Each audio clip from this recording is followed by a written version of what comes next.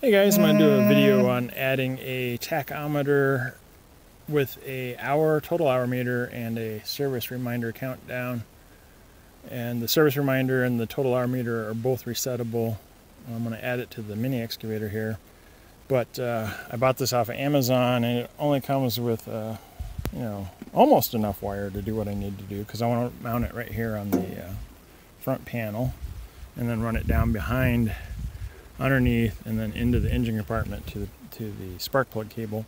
But I'm going to add some wire to it to do it. So let's do that real quick before we mount this and run it.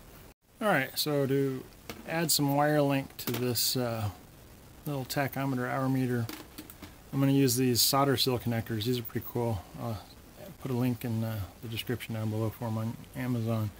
It has uh, solder in it and it has two chunks of uh, sealant that will melt and seal around the wires to make it weatherproof.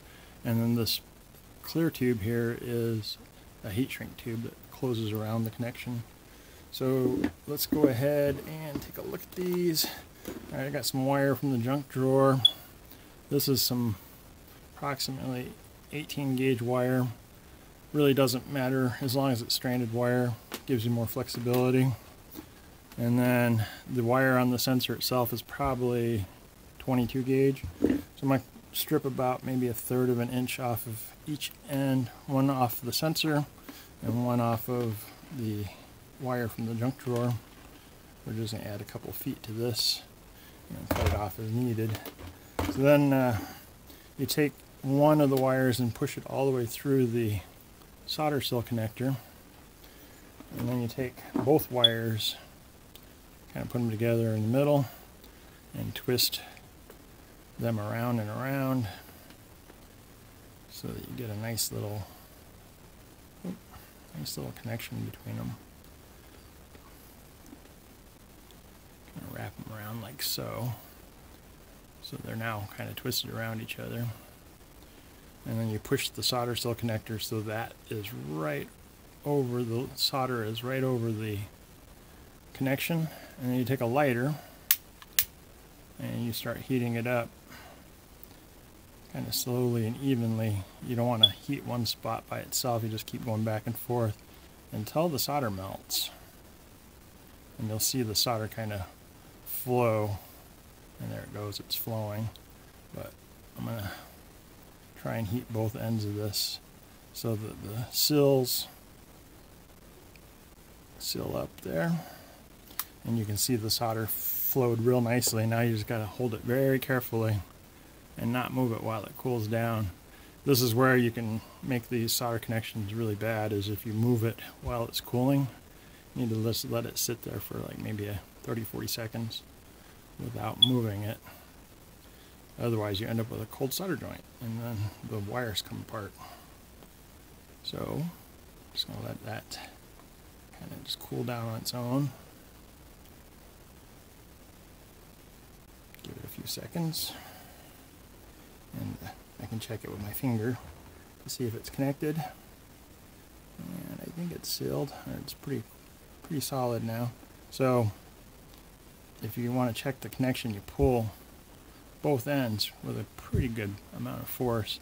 And as long as it doesn't pull apart, you have a pretty good connection here. It's sealed from the weather. Anyways, I'm going to go up to the tractor now, I mean the excavator, and work on that putting this guy in. Alright, so I'm going to mount this little meter right to the center here.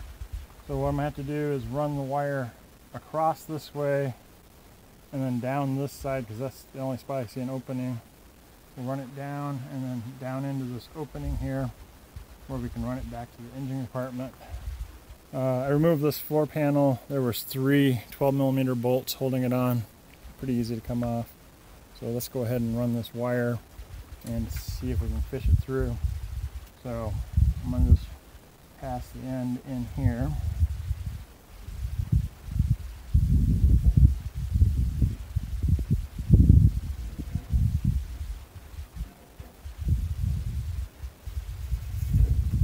And then we'll start feeding it down through that opening over here next to the hydraulic control pack And hopefully we can reach it in the bottom down here. Oh, there it is. There it is. oh. Got it. Alright. So now we can just pull it through this compartment. Oh, got a little knot in here. I gotta fix that real quick.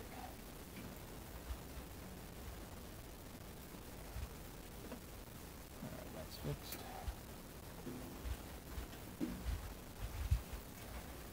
We'll leave an extra bit of wire up here and we'll zip tie it for now right to one of these control panel control sticks. So let's do that. Just to keep some service loop here.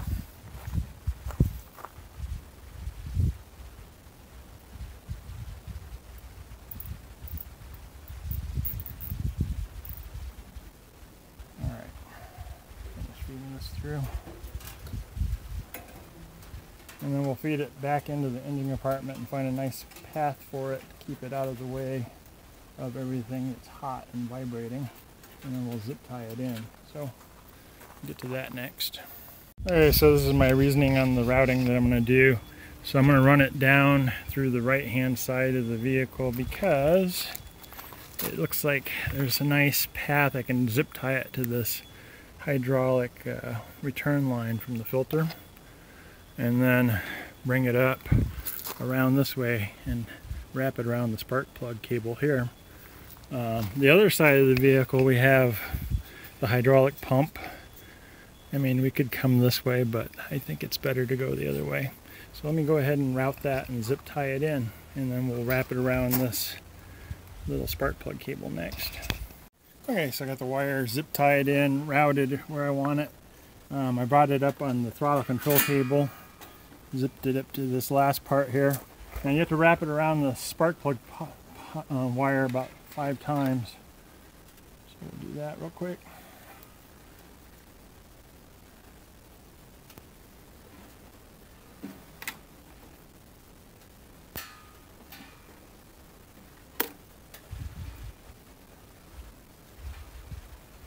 all their little diagrams they show this all crunched together real nicely like so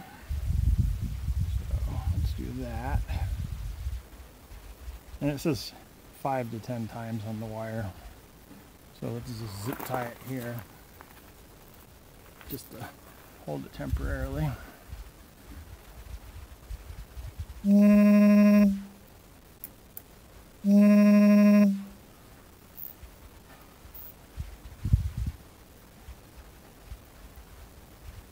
nice little coil there. I'll cut this off if after we test it that it seems to be good. So we're expecting 1200 RPM at idle and about 3600 at maximum RPM. Um, let me show you the routing. I'll go through and clean these up and cut the ends off um, after we're done. But I basically zip tied it so it's not anywhere in the, in the way. And then I also added some zip ties to like the hydraulic lines to keep them together and electrical wires to keep them together. I'll go through and clean that up. But let's see.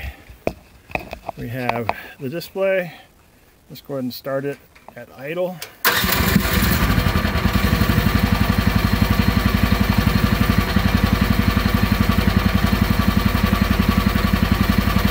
So that's at idle, and then we'll ramp it up.